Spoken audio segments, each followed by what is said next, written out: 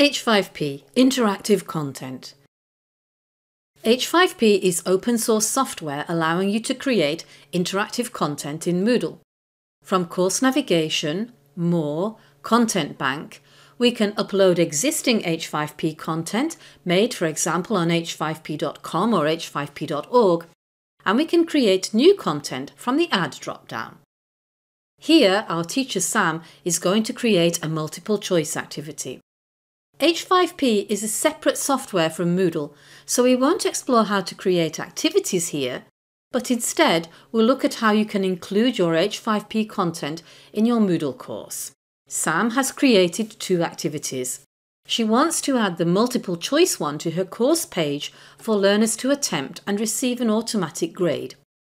If you want to do the same, then enable edit mode, click between existing activities or add an activity or resource. And from the activity chooser, click H5P. H5P is an activity because learners interact with it.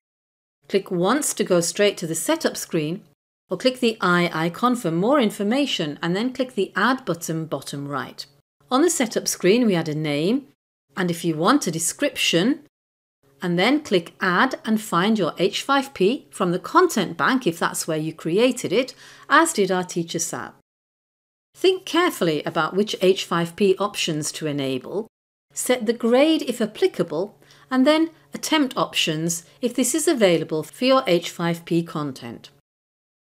In activity completion, if we want to track that students have accessed the H5P activity, do we want them to manually click to confirm they've seen it or do we want it automatically marked complete when they've simply viewed it or got a grade or passing grade? No need to select View if you're using other criteria. To alert course participants that an H5P activity has been added or updated, click Send Content Change Notification. We click Save and return to course and learners can now access the H5P and their results will appear in the gradebook. H5P can also be embedded anywhere there is the editor, although note that scores are not easily recorded this way. Sam has added a page with a video of counting in French, and she wants to embed a dictation activity to accompany the video.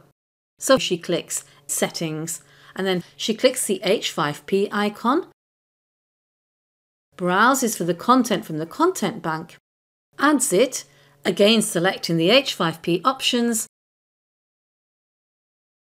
and here is the video with the dictation. If you have problems with H5P displaying, check the Display H5P filter is enabled.